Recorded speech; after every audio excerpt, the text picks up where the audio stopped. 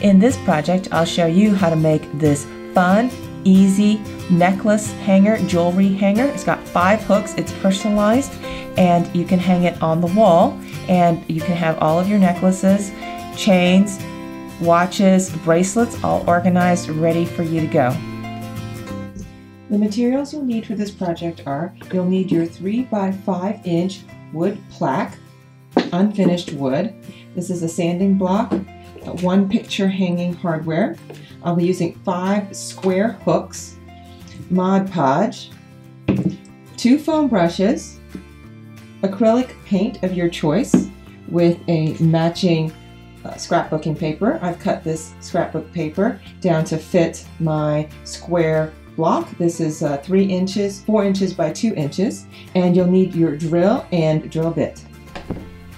We'll start this project off with just a little bit of light sanding on our wood block here, just to even out the rough edges.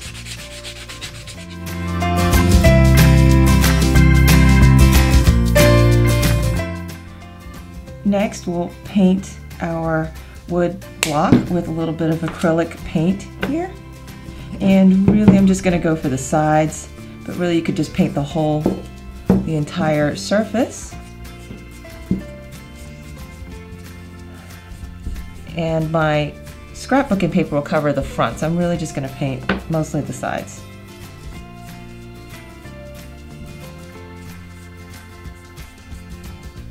Give it a nice even coat of paint here.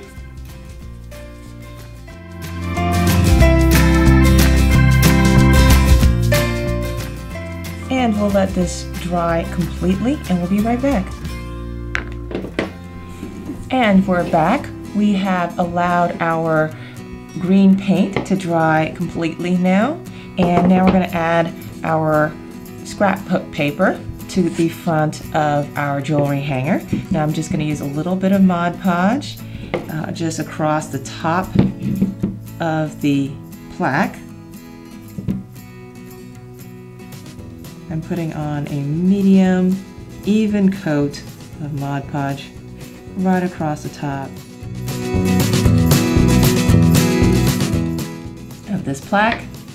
And then I'll add my scrapbooking paper right on top. Position that. Smooth that down with my fingers. And then I'll add another medium thin even layer of Mod Podge right on top. And we'll let this dry for about 15-20 minutes. And we'll come back and put on another coat. As you can see, our Mod Podge has dried completely clear and now we're just gonna add just a little bit more Mod Podge, another just thin layer, uh, just to seal it all in, let this dry. Um, and then we will move on to our next step. We have now allowed our Mod Podge to dry completely clear and we are ready to move on to our next step, which is drilling the holes we need for our hooks and also uh, the back of our um, hanger here.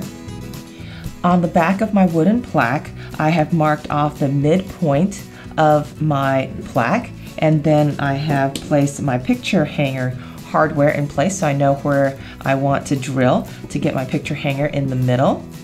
Now, when I printed out my name on the scrapbooking paper, I also figured out where I would like to put my necklace hooks as well.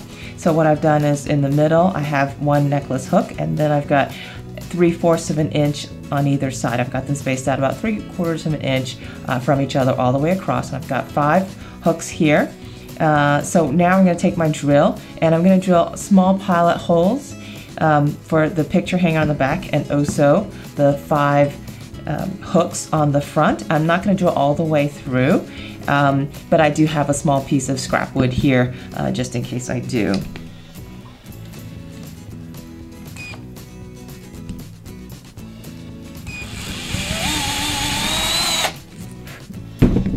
All right, so this is for the back picture hanger. And then I'll go through and drill holes for my necklace hooks.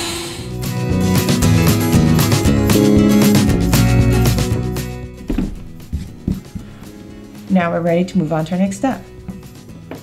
In this step, we'll be adding the picture hanger to the back of our plaque here. So I've already, um, I, in the last step I drilled a small hole and now I've got my screwdriver and my picture hanger in place and I'll just screw it down with this uh, small screwdriver here. So we have that in place now, ready to hang. And then on the front, we will be adding our hooks.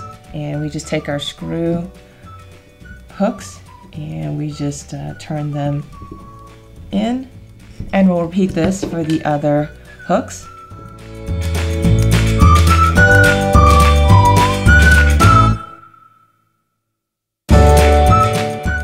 And here we have our finished project, a little uh, hanging personalized plaque for our necklaces or our jewelry. And we can hang this on the wall and it makes a great gift as well but also a fun project, easy project for us to do.